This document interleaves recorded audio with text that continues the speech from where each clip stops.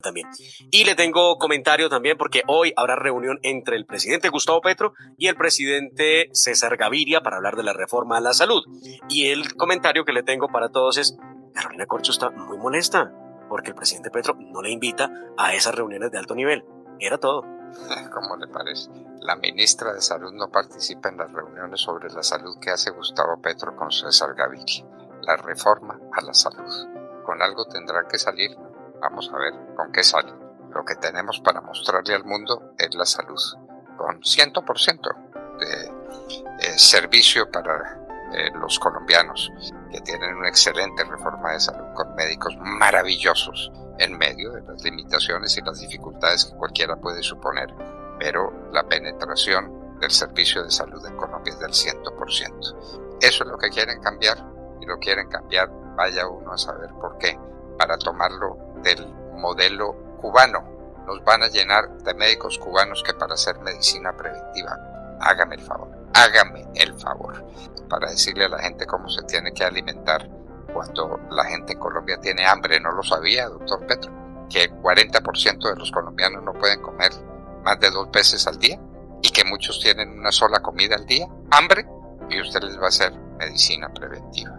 Dios nos libre. Bueno, de mar, entonces nos despedimos. Sí, señor.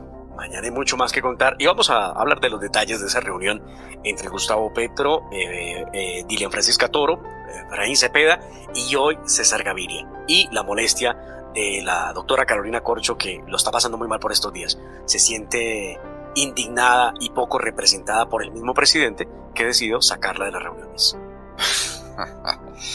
Dios mío. Me corresponde presentar el primer comunicado de dignidad y compromiso sobre la reforma a la salud. La reforma ha entrado en una nueva etapa.